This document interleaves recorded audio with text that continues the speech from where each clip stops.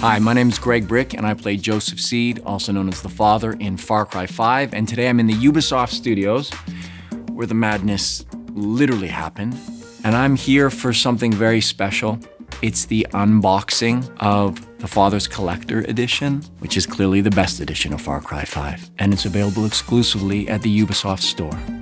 Inside this awesome and huge box with very handsome father on the cover, you are gonna get your very own copy of the Far Cry 5 game, and it's the gold edition. It comes with a season pass, and it's in a steel book. Like real steel. Also in the box, you get the soundtrack, you get the world map for Hope County. Here's the world map so that when you're playing the game, you can find your way around. Try not to get lost. But if you get lost, I will find you.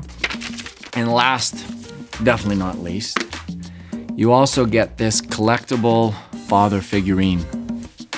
Very purposefully preaching to my cult. And you can put it on your bedside table and it can watch you sleep. And you can have nightmares. And you wake up and play the game and try to kill me.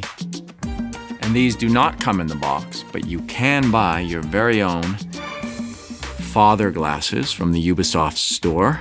And then you can grow a beard and get a man bun and, and start your own cult.